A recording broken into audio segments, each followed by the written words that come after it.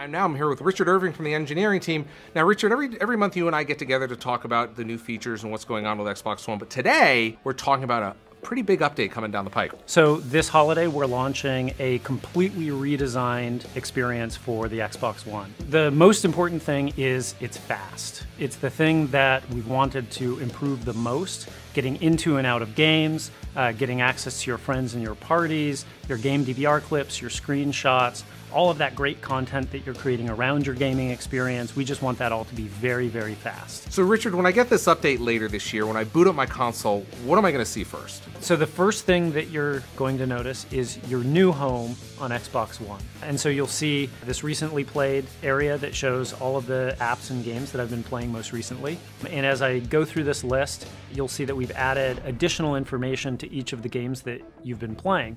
Uh, so, I can see here a link to the Game Hub. I, I, can see an announcement that the game developer has made. So we're, we're allowing game developers uh, to make announcements and program directly to your home screen, as well as shortcuts to your most recently recorded game DVR clips, screenshots, uh, and even achievements that you've earned uh, to just give you one click uh, the ability to one click and share out to all of your friends on Xbox Live. Where did my pins go?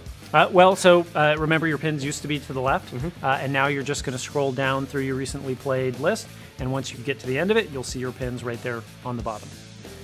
What we were thinking about in the community area uh, was to make it uh, much easier and faster for you to connect with your friends, games, and the rest of the Xbox Live community at large. Uh, and so the first thing that you'll notice is that we've pulled the activity feed up to be right here as the centerpiece in the community area. And then over here on the uh, on this right hand side, what's going on here? Uh, so this is the trending area, and this is where you'll see new video announcements. You'll see games that are trending on Xbox Live in the community, and you'll also see players that are accomplishing big things on Xbox Live. Richard, at the beginning, you were talking about speed and how important it is to gamers, and of course, the team did a lot of work to, to, to meet that goal. Tell me, tell me what you guys did.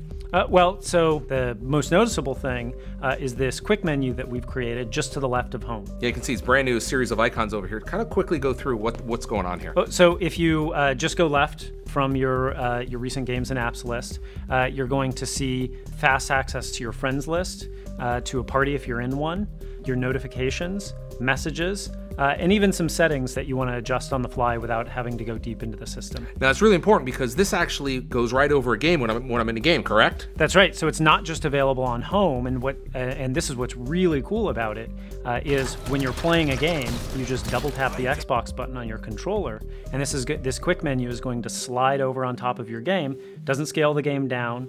Uh, you just see your friends list. Uh, you can go through there, figure out who you want to invite to the party.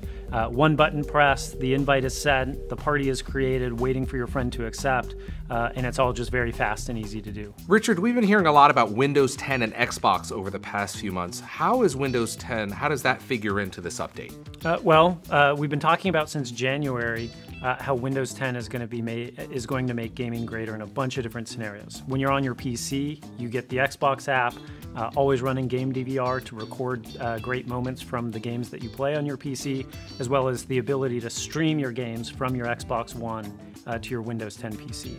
So in the case of the console, uh, that that's what's enabling these great updates uh, for fast access to your friends and your parties, uh, and some of the other uh, enhancements that you're seeing in this update.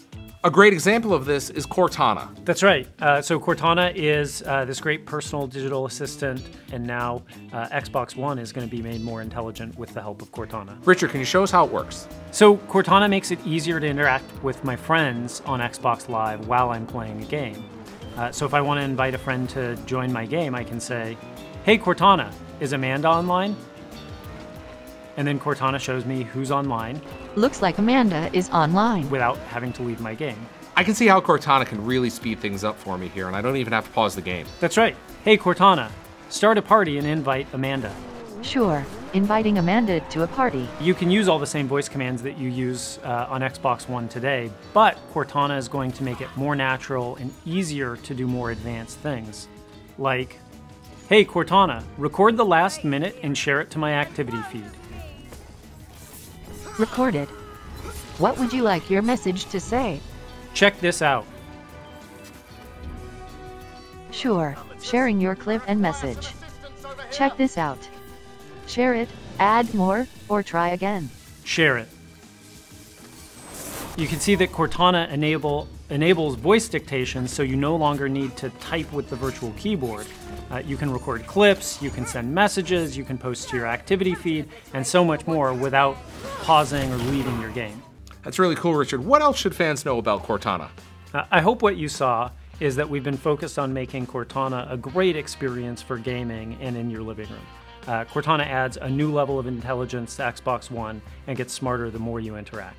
There you have it. That's your first look at the new Xbox One experience coming very soon, right, Richard? That's right. We're really excited about it, and a lot of it is based on your feedback, so thank you very much for that. Richard, thanks for joining us today. Thanks for having me.